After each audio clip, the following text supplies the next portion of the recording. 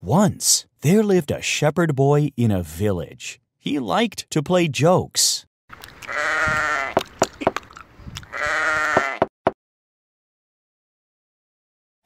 One day, the village had a festival. The shepherd boy wanted to play a joke on the villagers.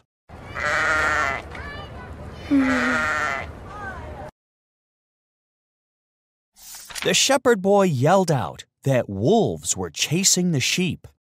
Help! Wolves are coming! Help! The villagers heard the shepherd boy. They grabbed their farm tools and ran to help. Hurry up, everyone!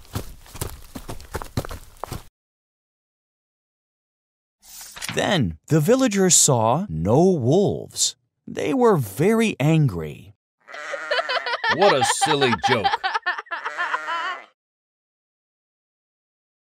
The shepherd boy played the same trick several times. The mayor asked him to stop, but he didn't listen.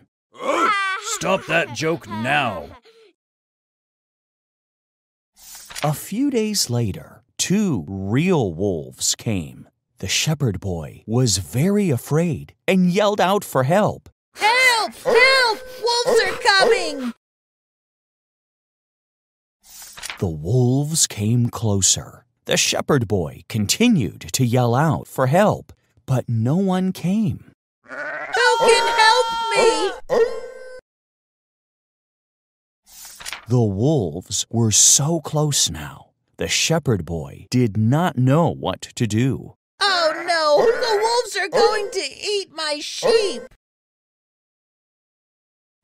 Luckily, the mayor saw the wolves. He and the villagers ran up the hill and chased the wolves away.